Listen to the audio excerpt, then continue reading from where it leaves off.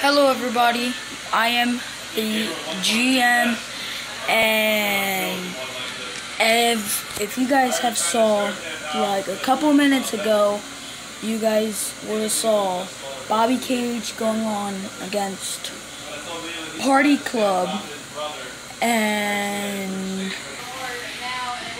Party Club has lost. He's just in a major injury right now. Bobby Cage has won. And let's take a look back right now. But before we do, um, uh, Party Club ha has to relinquish his belt, and he already has. So we're gonna take a look. We're gonna take a look at the clips of what happened right now. Now the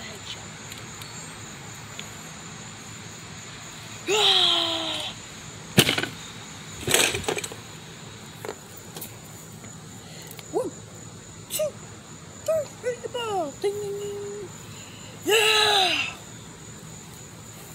Get out of here. You guys don't ever, ever mess with Bobby. Okay.